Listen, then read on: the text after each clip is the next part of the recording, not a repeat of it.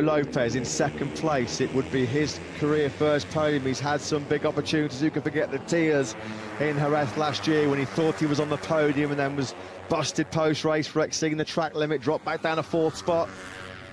Here we are then into turn 12, and true and brilliantly so from Arenas, but he's Ooh, wide. Contact, contact there between Migno and Ramirez, and you can see Ramirez, he got a little, pushed out a little wide, tried to get our defensive attacking riding at the same time from Toba.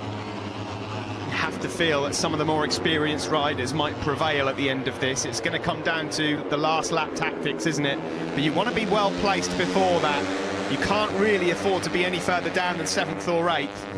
Well, Toba's been here before. Arbolino, he flew off the line. Not so for Lorenzo Dalla Porta. Arbolino's miles ahead into turn one. What a start, what a dream launch off the line then by the pole man, Tony Arbolino. Fernandez was able to sweep on through on Lorenzo Dalla Porta. Sasaki started fourth, he's in fourth place. Dalla Porta, though, tried to fight back through Maggotts and Beckett. That's brave, and he's already struck back on Fernandez. Brave and aggressive, but he's slightly... There's Tony Arbolino up ahead of him. We're now about to start the long climb uphill towards the finish line. Canet still leads. Up the inside there, though. Aggressive from Dalla Porta. Great move. Has the Honda got the legs on the KTM up Horsepower Hill or has Canet Arbolino? He got him way, way too hot going into Correntaio. His heart was in his mouth there, Dalla Porta. He was so, so close to T-boning Tony Arbolino. That was really, really tight.